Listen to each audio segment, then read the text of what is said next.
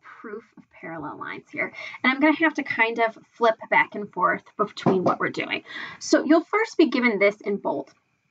Given line 1 parallel to line 2, we're going to reflect over line 1 and then reflect over line 2. Remember, this is written backwards right here because it's kind of like working from the inside out. We're going to do this with point A. Now, if we read through, I've written down the steps for all of these.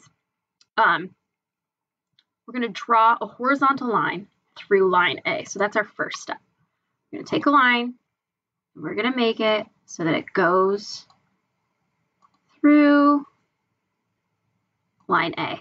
And it's perpendicular to those um, two other lines as best we can get there. Okay, step two, make the distance between A and line 1x. So we are going to make the distance between A and line 1x. It's, we don't know the distance. This is a proof, so we're not measuring it. So that's what we are getting there. Step two, make the distance between A and line 2y. So we're making this y. They're different distances. A is not in the center, so we can do that. Okay, step four. Reflect A over line 1. So we're taking A, we're reflecting it over line 1. So let's go ahead and actually do a little transformation here. We're going to reflect line 1. We're going to choose A and apply. And we're right there. Okay. So this is A prime. It also tells us to do that. Label it A. Now we're going to label the distance between line 1 and A prime x because it needs to be the same distance. Now we're going to reflect A prime over line 2.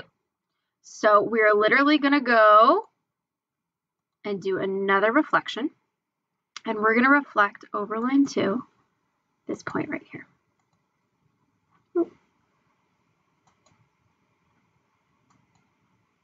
We're going to reflect over line 2, this point. Oh, well, it's probably too far over. Anyways, so here is a double prime. And if we look on this side of line 1, line 2, we have x, x, y. So we have to have x, x, y on this side. Now let's look. The distance between line 1 and line 2 is x plus y. And the distance between, we're looking at A, to A double prime is 2x plus 2y. See how there's two y's there and two x's? So if we look right here, this important part here our conclusion, line 1 to line 2 is x plus y, and a to a double prime is 2x plus 2y. Therefore, a composite reflection over two intersecting lines is a translation that is twice the distance between the two lines. This part in bold and this part in bold at the top, you have to have for each of your problems, preferably like just written right on your picture. It doesn't work quite as well right here for me. Uh, but those are the important parts. The steps are just nice to have, so we have them. Now I'm going to do another example. I have moved where A is. So if we look, we have A right here. Oh, I don't know why I made it prime. It's just A. There we go. And we have, this is line one, this is line two.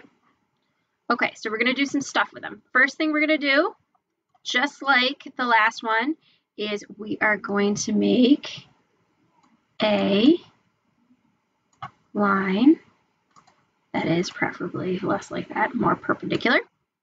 So given line one and line two, draw a line that it's, is horizontal through A.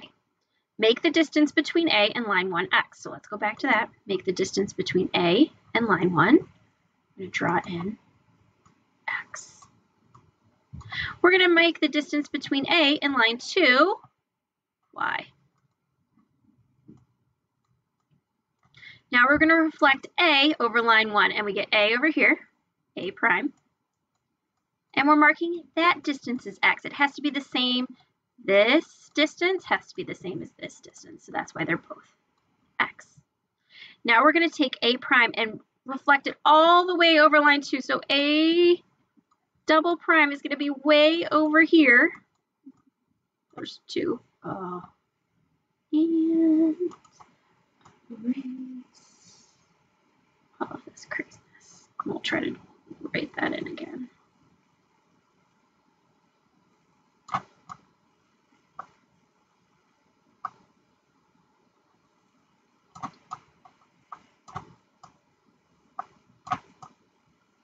Okay. We'll try to do that again. Here we go. Got A double prime.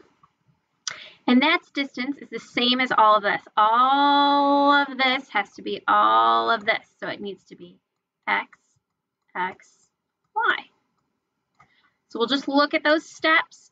We labeled the distance between line 1 and a x. Labeled the distance between a uh, the distance between a prime and line 2 y. Then we reflected it and we got x plus y and 2x plus 2y. Therefore, a composite reflection over two intersecting lines is a translation that is twice the distance between the two lines. Notice this looks very similar to the first one. We're going to do one more. We've done A, where it is in the middle. We've done A, where it's in the middle again. And we're going to do A here, where we are going to move where that A is. We're going to move A all the way over there. So we're going to put A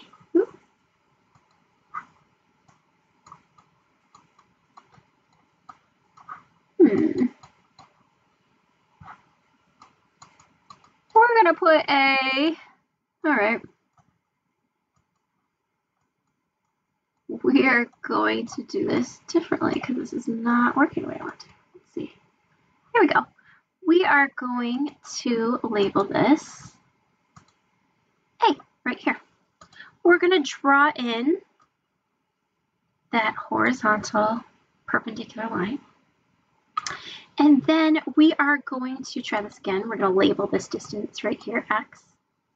We are going to reflect, this is line 2, this is line 1.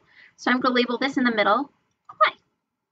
And we're going to reflect all of this all the way over here, and this is a prime. This is not drawn to scale, unfortunately. This should be much further away, but it doesn't work on here. And that's x, y, all of that. Now we're going to have to take all of this right here, and we're going to take all of this and reflect it all the way over here. Notice that there is an x already here, but I have two y's. So I'm going to have y, y, and then there my A double prime so that those are the same distance. And then we can see here, we've done all these steps. A to A, uh, line 1 to line 2 is actually Y this time, where A to A double prime is 2Y. But that still is, we've doubled the dis distance between the two lines to get the distance between A to A double prime. So that is it for our proofs of parallelogram.